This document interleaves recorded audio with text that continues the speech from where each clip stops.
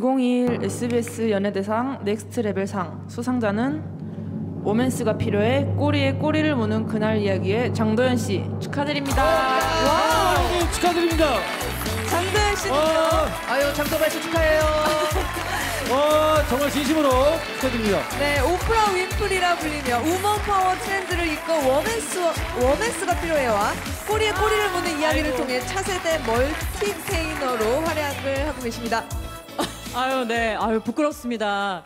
근데 실례지만 Next Level 상, 예, 예, 처음 도입되는 상이죠. 네. 에스파 여러분께도 감사드리고, 뭔가 SM에도 좀 감사드려야 될 것 같은데, 아, 아무튼, 아, 사실 제가 어, 작년에도 SBS에서 너무 귀한 상을 주시고, 올해도 또, 예, Next Level 상을 주셨는데, 사실 저는 이 연말 시상식을 집에서 TV로 보는 게 좀 더 익숙했던 사람이거든요. 그래서 3년 전까지만 해도 그 TV로 보면서 도대체 최영임 본부장님이란 분은 어떤 분이시길래 저렇게 계속 언급이 되나 나는 왜 방송인인데 저분을 모르나 막 오만 가지 생각을 했었는데 아 또 오늘 이렇게 귀하게 네, 상을 또 주셔서 아 뭔가 좀 부끄럽기도 하고 네 다시 한번 감사의 말씀 드리겠습니다.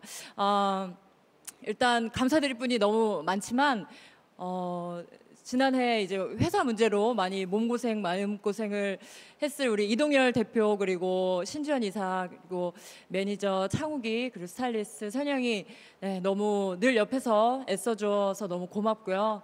아, 네. 아, 전뭐 한 게 없는데 아무튼 프로그램에 묻어가는 것 같습니다. 네, 그리고 올 한 해 절 선택해주신 많은 제작진 분들 너무 감사합니다. 네, 출연료가 아깝지 않은 방송인이 되겠습니다. 고맙습니다.